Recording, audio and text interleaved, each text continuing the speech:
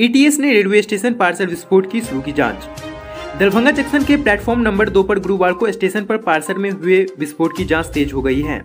पटना से आतंकवाद निरोधक दस्ता एटीएस की एक टीम जाँच के लिए दरभंगा भेजी गई है। टीम वहाँ पहुंचकर छानबीन में जुट गई है। विस्फोट की वजह क्या थी इसका पता लगाने के लिए एफएसएल के विशेषज्ञों को भी लगाया गया है। एटीएस की एक विशेष टीम को दरभंगा भेजा गया है।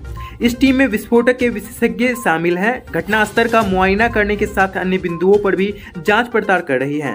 वही पार्सल में रखे कपड़ों के बीच में मिले कुछ केमिकल नुमा पदार्थ की जाँच के लिए एफएसएल के लिए विशेषज्ञों को भी लगाया गया है। हालाँकि विस्फोट की वजह क्या थी और यह कैसे हुआ, इस बारे में अभी कोई जानकारी नहीं मिल पाई है।